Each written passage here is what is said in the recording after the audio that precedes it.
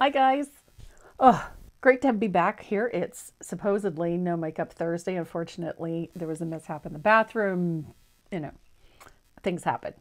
So I'm wearing makeup on May, No Makeup Thursday. I've got a great little project today. Um, on Saturday for my Facebook Live, we did a great Santa piece using paper, painting on paper, and then decoupaging onto a surface. I have a really great ornament that uses the same kind of technique, and I think you're really going to enjoy it. It's a lot of fun. But before we get to it, uh, we have a winner from last week's uh, midweek video, Carla Lease. I need your shipping information, my dear, so that we can send you your goodie bag. We have a wonderful little prize pack for you. Have a giveaway for this week as well. I have a great five brush set of IPC for one of you, and I have uh, a couple of little uh, gifty items as well to send out. So three of you are going to go home with a, a great little prize. So, uh, what else? I think that's about it. I think we're about ready to get started. So this is the ornament that I was talking about. Uh, he looks very involved. He has a lot of fun to do, but it, there's really not a lot of painting involved in this little guy. But what's really nice about him is that he is dual-sided. So no matter which way he turns on the tree, you're going to see the Santa. These are very easy to paint. You don't need to have a ton of colors, and you don't need to have a ton of supplies either. So I'm going to show you how to do this. It's really simple. So I like to start with a variety of papers. Um, I'm notorious for scavenging and salvaging things from junk stores and secondhand shops and craft stores and even from irregular shopping. This was from a gift shop and they used to, these are just their bags that they would put various things in, but they have this neat printing on them. So I keep this type of thing too. Um, this one is pages salvaged out of an old book. Um, in this case, it was from a Bible. And then I have this from an old hymnal as well. So I use those. You can also use gift wrap or um, scrapbook paper or things like that. You're not limited to the type of papers that you can use.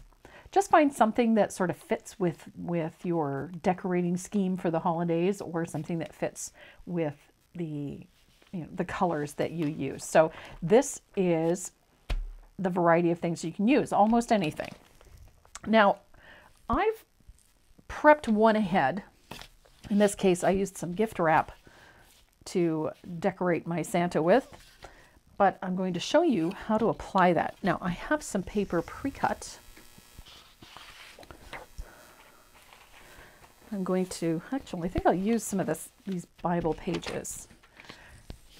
And now the process is really simple. I took my ornament blank. We have these available on the website. Uh, they're also available from Sheila Landry. Um, she does remarkable woodcutted pieces, and uh, her website is tolepaintingdesigns.com. Great site to pick up these wood surfaces, and Sheila does incredible work. The quality is second to none. So I'm going to start by applying a coat of matte medium. You can use a decoupage medium or Mod Podge, whichever you have on hand, but my preference is this DecoArt Media matte medium. I love this stuff. So I'm going to put a nice generous coat on the entire surface. You want to get a good even coat on. You don't want gobs of it on there, but you need to have it even and so that the entire surface is covered right up to the edges, just like that. So once you have that on, I'm going to lay your paper onto the surface. Just make sure you've got everything covered. And I don't. I missed. There we go. And you're going to press this into place. Now, Ordinarily, I would moisten this paper. And I think I might have to do that because it is rippling. So I'm going to take a sponge and a little bit of water and I'm going to wet that paper. You could dunk it into water beforehand, but I'm going to wet it with a sponge simply because it is not cooperating. And then while it's still wet, I'm going to use my brayer to seat that into place firmly so that it is well and truly stuck onto that surface. Just like that. And then once you have it firmly in place, I'm going to grab your handy dandy nail file. Emery board, nail file, whichever you prefer. And sand the edges down and away from yourself. Don't saw it back and forth, that'll pull the paper right off. If you sand down and away, you can do this when the paper is still wet or when it's dry, it doesn't matter. But if you use this method, that paper will come off and leave you with a nice clean edge all the way around. Just like that. Nice part with these emery boards is that you can get into the little corners and little details quite easily. Just like so.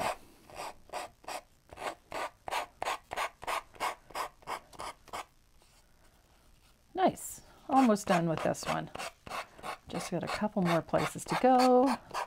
Down around his belly, the top of his boot. Just like that.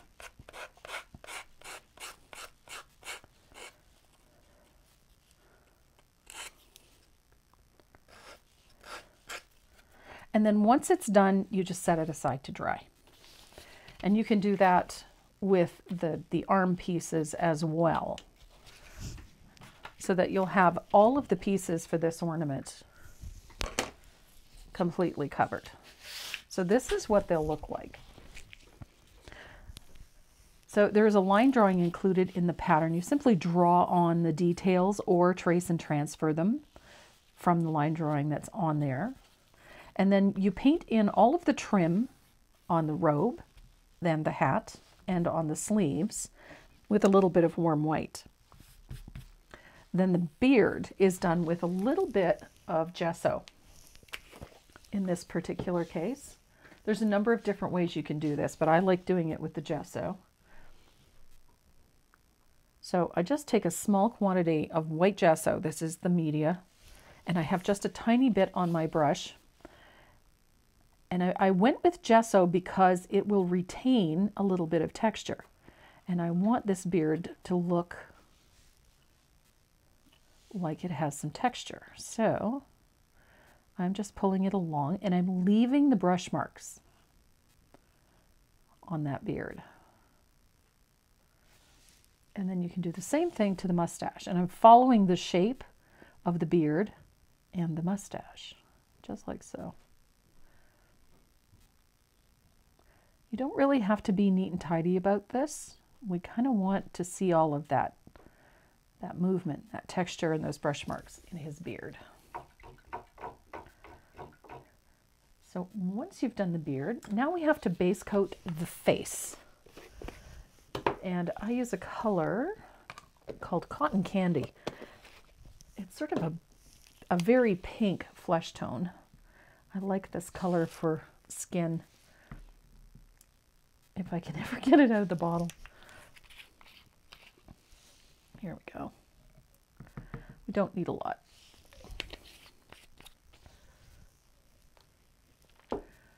And I'm going to use a rigger, I think, to put this in. Now that little bit of pink is going to fill in the face. And we're just painting right over that paper. And it will, depending on the type of paper, will probably take a couple of coats, but it doesn't, this paint doesn't take long to dry, so. The fun part about doing this is that the bulk of the design work and the bulk of the painting is already done for you by the paper. And because we're doing a dual side, you have to make sure that you carry that color to the edge as well.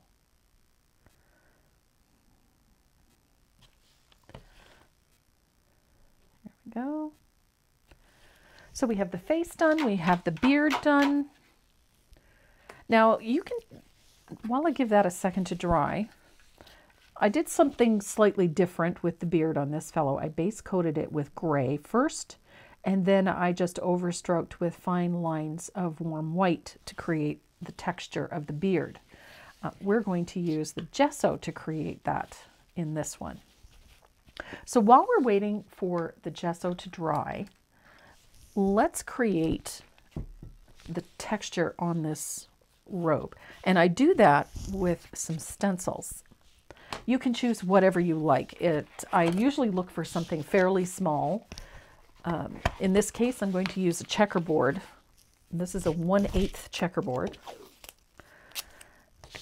And this is about, I want to say it's about half an inch, maybe a little more on the uh, size-wise. So I'm going to tape off my stencil and leaving about half an inch to 5 eighths of an inch. Let's have a look here. Okay, so, but, oops. So I'm going to tape that off. And the reason I do that is simply to make it simpler to align things.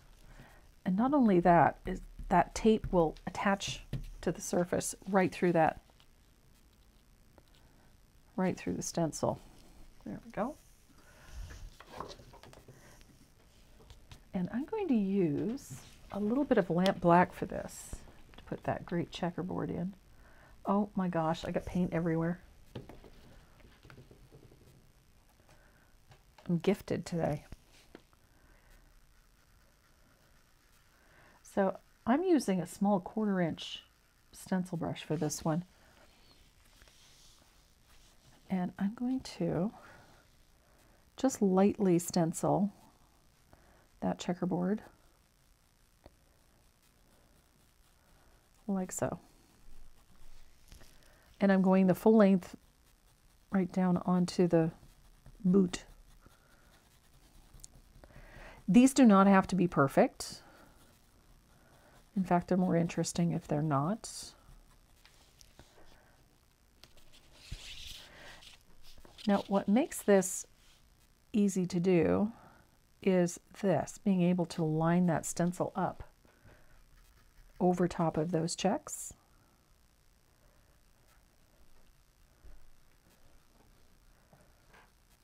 And then we'll stencil that. This would be cute with polka dots. You can pick and choose little swirl stencils. Almost any kind of pattern will work fine for this. I just don't, you know, I kind of like these little checks on this Santa. It's just very playful.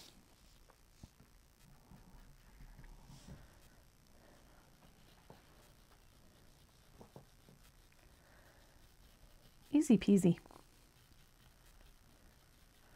So there we have that.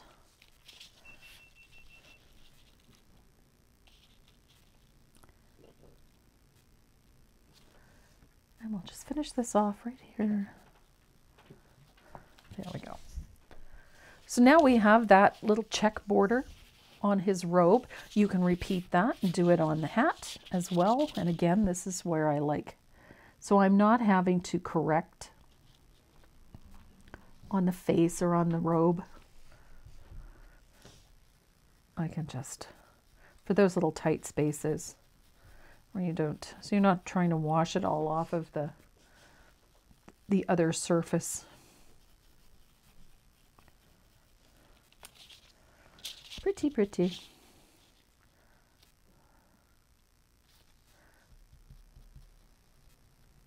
There we go. So I have checks on the hat and the robe, and I have a little spot where the paint went up onto the paper, and I can just take a wet brush and clean that excess off right there.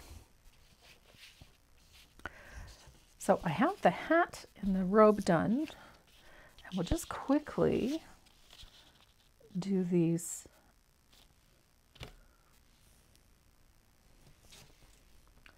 do these cuffs on the robe. on the sleeves.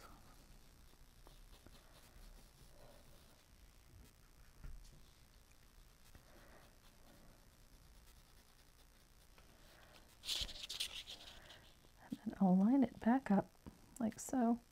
With checks, it's so easy. Anything significant like checkerboard or polka dots, very easy to realign things.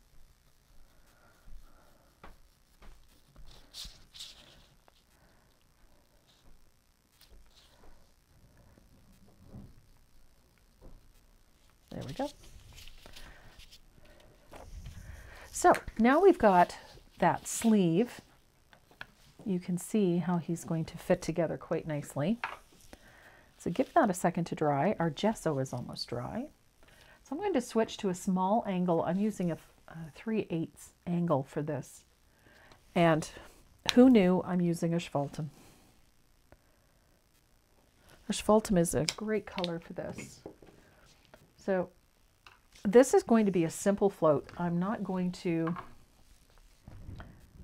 do anything extravagant, no delicate floats. This is going to look very vintage. So I'm going to put a float of asphaltum all around the outside edge of that fur trim, right over that checkerboard, like so.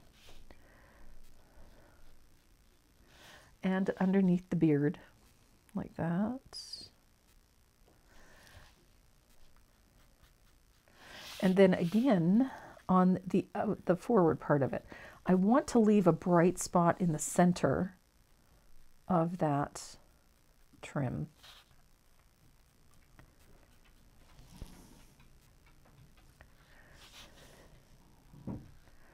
This is a really quick way to paint up projects for bazaars and church markets and things like that, craft sales. It works very quickly. So oh, shade the hat. All of the trim gets shaded the same way.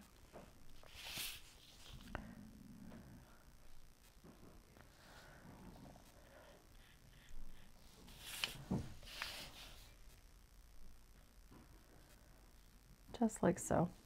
Now on the pom-pom, I'm going to leave this edge white just so that we have some separation. And then I'm going to do the same thing to the cuff on this.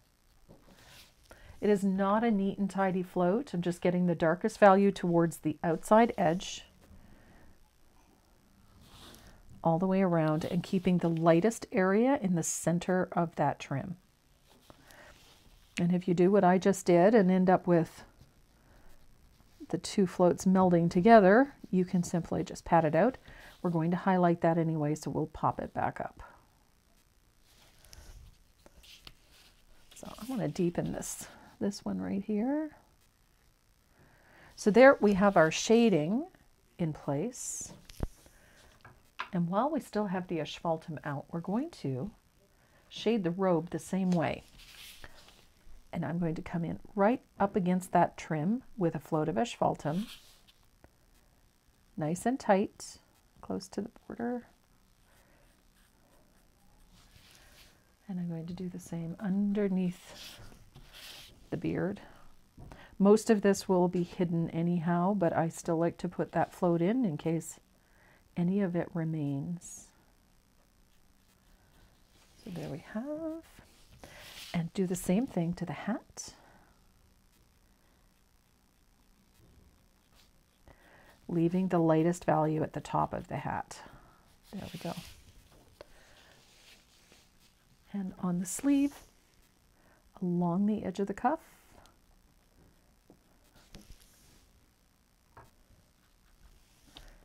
Like so.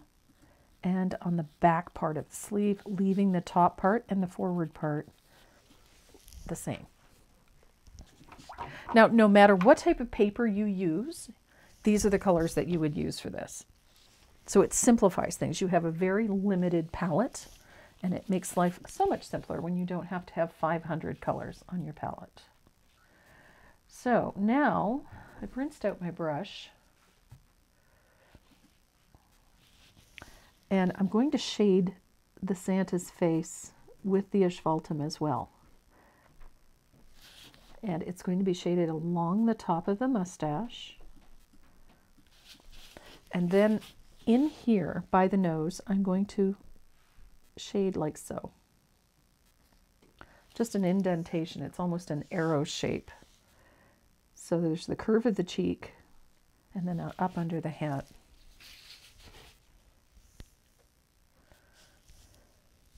Now for his beard, now that we've got the shading on this done and the shading on the face done, we're going to start shading this beard. Now, I like asphaltum on the white, but it looks a little yellow, and we don't really want that. So I'm going to take a little bit of Payne's Gray. And it's a fairly weak float. You don't need a lot of this color, but you do need some. It's a little Payne's Gray on the brush. And you're going to float underneath that hat right here and underneath the mustache like so.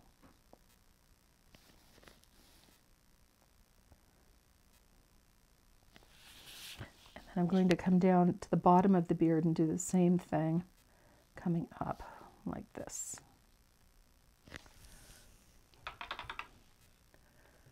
I'm going to switch to an, a larger angle for this one. And as soon as that's dry, I'm going to take a little bit of asphaltum. I'm going to load the brush, but I'm going to thin it out quite a bit. And I'm going to float right over all of that Payne's Gray with that thin asphaltum. And I'm going to do the same thing to the mustache. And that thin asphaltum makes all of that texture in the gesso stand out. But it is very heavily thinned.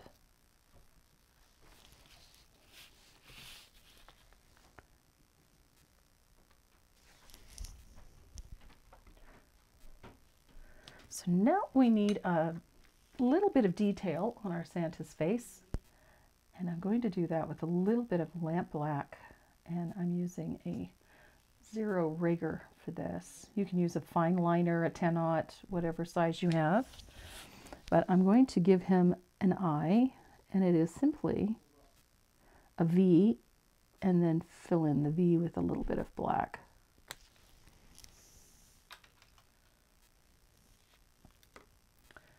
Now I have a tiny point blender, and I have a little bit of Tuscan red.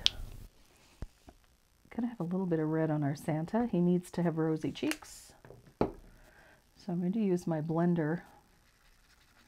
If you have a dry brush, whichever you prefer, I'm just going to load that up.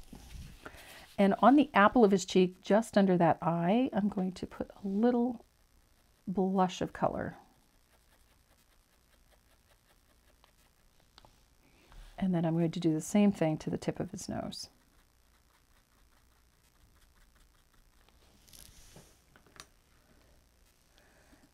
Now there's a final highlight that goes into his eye.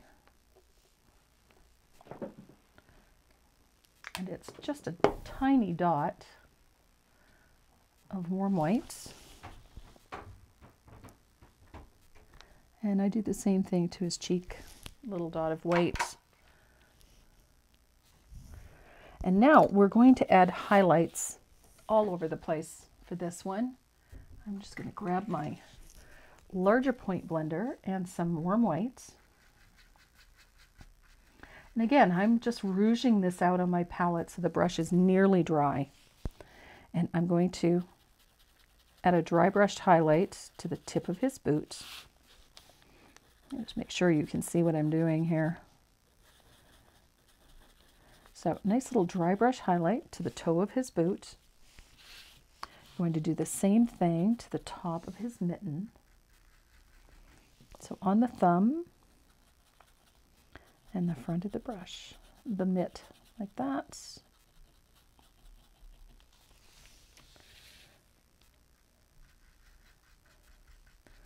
And this is where I like doing this highlight. I come to the center of that robe and I dry brush some warm white just in the center.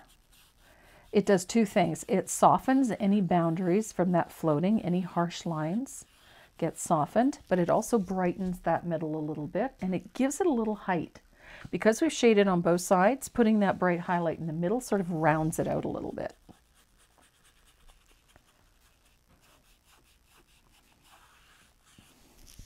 And I'm going to do the same thing to the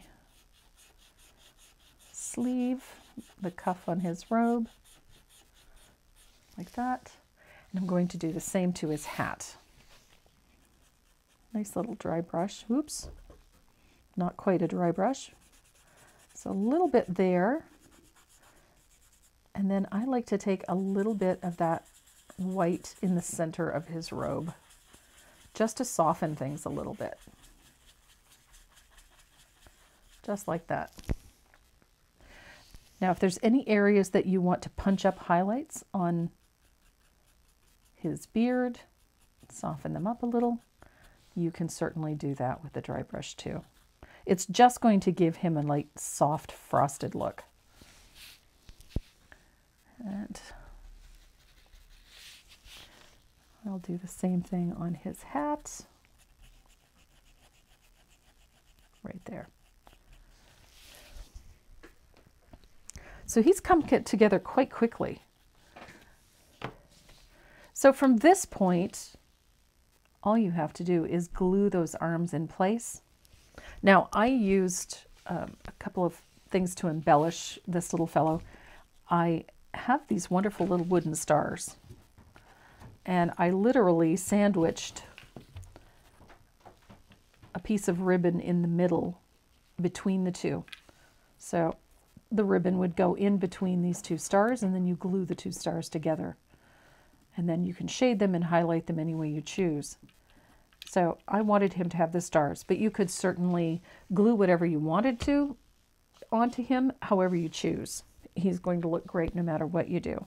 A little piece of ribbon, a piece of holly, um, a small gift box, whatever you would like.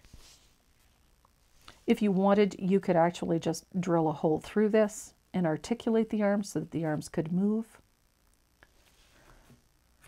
But there you go. That is how difficult this little guy really is. He's just done with a little bit of paper and some very simple painting techniques. You can embellish him any way you choose. I like taking my my gel pen and adding sketchy little lines around the outside edges. It just softens things. Little details. Add glitter to this whatever you would like.